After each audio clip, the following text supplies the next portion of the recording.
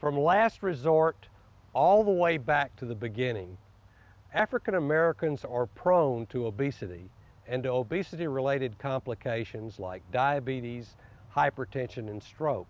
Why is that? Is it genetics or is it man-made? Can we blame the past for the present? Mississippi's past is one filled with anger, hate, and violence. For many living outside of the state, the civil rights movement is what defines us, and the issues of the past still hang around in politics, in day to day life, and in health. Many African American leaders believe the health policy of the past is to blame for the large numbers of obese African Americans today. Dr. Robert Smith is a living legend in Mississippi's civil rights history. One of the only black doctors in the state at the time, his stories will blow your mind.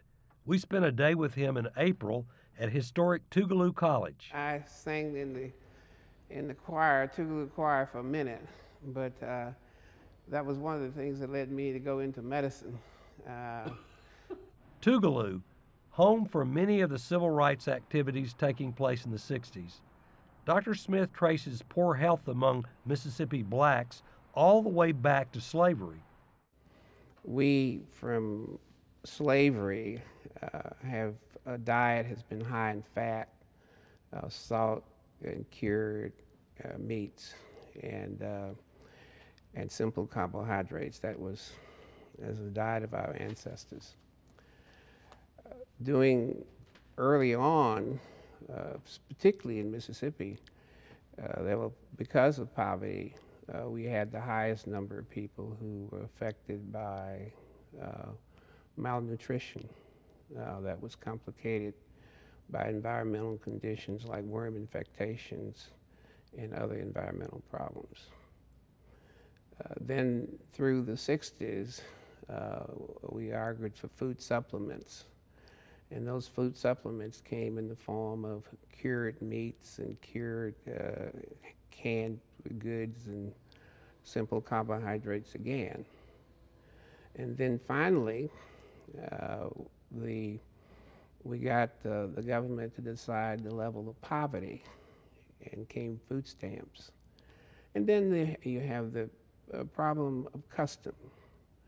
I grew up in an environment where I thought white people ate all they wanted to. and so after black folks got food stamps, better jobs, better opportunities, uh, we just started eating more, uh, not knowing uh, that uh, too much food is just as bad or perhaps worse uh, than too little food. Couple that mentality with an incredible amount of poverty. When I came back here, the average income was $2,000 uh, with uh, the most, impo most important job for a black female was a maid making $15 a week. Average income in the Delta was a thousand. Uh, with no access to health care. Dr. Aaron Shirley is a pediatrician and also a huge civil rights leader in Mississippi. Together with Dr. Smith and others, they helped establish the first community health center, one that still exists today providing quality health care to poor Mississippians. Dr. Shirley strongly remembers how different his pediatric patients were in the 60s from what they are like now. I saw many malnourished black kids but I didn't see any fat kids. Uh, the kids who were healthy and skinny, uh, the moms or caregiver cooked meals. And what they cooked was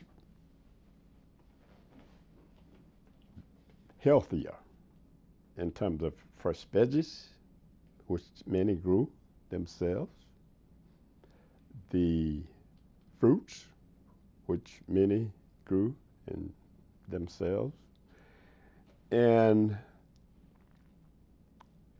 the availability of fast food, bad stuff, wasn't as prevalent as it is now. And uh, exercise was was something that the, the, the, the everybody participated in. The moms played ball with the kids. It was a family type thing. And we didn't have televisions and gyros and couch potatoes and those kinds of uh, uh, distractions. So when it wasn't raining and you weren't doing chores, kids in those days were outside playing. Malnourishment and hunger also played a role in how people perceived weight as well. If you were carrying extra weight, that must mean you're successful. That mentality still exists in some parts of the black community today. Well, there was a time when a chubby kid, because we had so much malnutrition, a chubby kid was considered as fat and fine and healthy. And over time, it kind of, in, in some, in some uh, groups, over time it became the norm. You know, if you skin a dude like, like uh, I have deliberately uh, uh, lost weight in the last two years, and I have people that I grew up with. They say, "Hey, we're worried about you." You know, and then last time I was uh, I was at the doctor looking at me, and I say, "You, you are on borderline. Your BMR is 27." Dr. Pat Moraine is the granddaughter of one of the first black medical leaders in the state, T.J. Huddleston. Huddleston was responsible for building the first healthcare facilities for blacks in the state. According to Moraine, prior to her grandfather, Mississippi African Americans were on their own when it came to health. Health care was, uh, it was almost nothing. It was almost, there was no health care for blacks. There were some doctors who had offices, but of course they had no place to, um, to, to perform any surgeries. They didn't have hospitals and hospital facilities to perform services, and blacks could not go to regular hospitals. So you had a lot of deaths, a lot of deaths. There was no recourse if you had pneumonia. There was no recourse if you got influenza or typhoid fever or smallpox, which were some of the diseases that were going on during that time. So um, if there was a difficult pregnancy, then there was no doctor to come to, to uh, actually birth that baby. Moraine says her grandfather worked hard to come up with a solution to help blacks get access to health care Huddleston created a fraternal organization that, in essence, was an insurance company. People paid monthly dues, and those dues went to build the Sons and Daughters Hospital in Yazoo City. There, black Mississippians were able to see doctors, have medical procedures, and learn proper health guidelines. Dr. Moraine says her grandfather's methods should be a model for today. It's time for us to pick up and solve the problems. And I think that we can come together to do it. Community based health care can solve the problems of obesity, diabetes, and hypertension.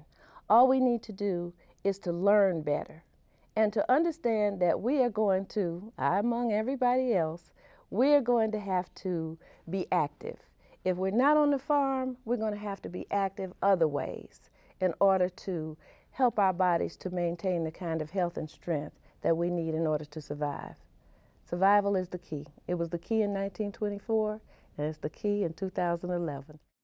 Both Dr. Shirley and Dr. Smith agree with Moraine, believing that the solution depends on everyone taking part and that education should be at the top of the list.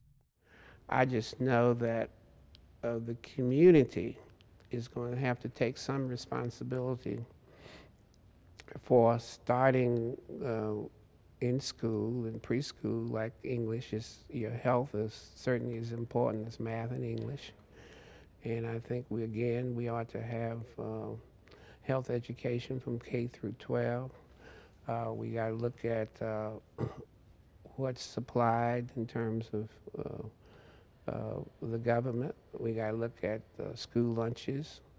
Uh, we just simply got to change our dietary habits uh, from uh, the old high fat, uh, high sodium, preserved type foods to more fresh fruits and vegetables, and uh, that's going to be a that's going to be a cultural, societal change.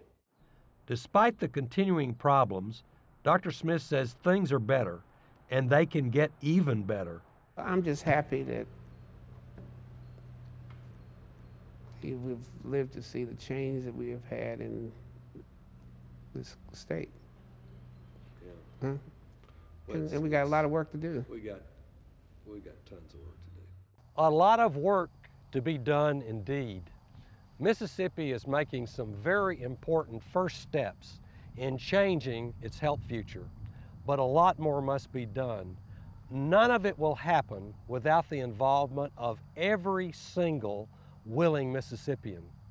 Think of your children, your grandchildren, and decide what kind of future you want them to have, and get involved now. That leads us to this episode's homework assignment. We had such a great response from the last round, we decided to make it even harder this time. Number one, start eating off your own portion plate. You can buy one online, or you can just use a normal salad plate you probably already have in your cabinet. Remember, divide your plate into half and divide one of those halves into half again. That should leave you with a half plate and two fourths of a plate. On the big half goes leafy green veggies. On one of the fourths goes three ounces of lean meat, and on that last fourth goes a carbohydrate or starch. Plenty simple, huh? Number two on your assignment list start exercising. It doesn't have to be a boot camp like program, just keep it simple. Maybe a daily walk around your neighborhood, or take the stairs at work instead of the elevator you normally use. Whatever you do, as long as it's more than you've been doing, it will make a difference. And number three on the list, learn the nutrition basics. There are plenty of books laying around on the subject, as well as a wealth of internet resources. And finally, the one thing you must absolutely prepare for the third installment of Southern Remedy, Mississippi's Big Problem. That goes without saying, right? Look for our next episode in August.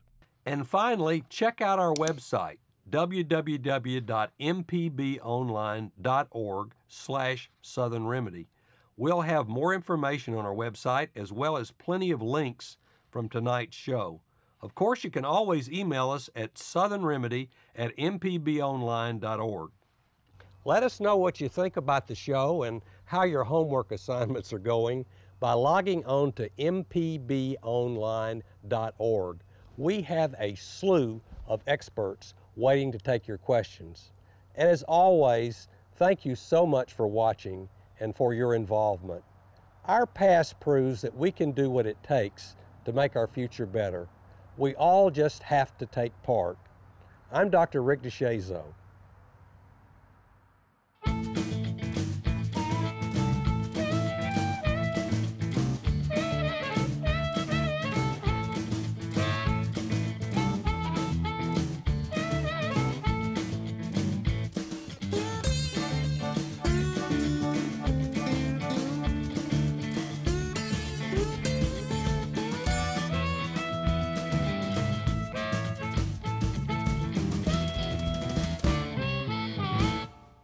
Mississippi's Big Problem, a Southern Remedy special, is funded in part by a grant from the University of Mississippi Medical Center.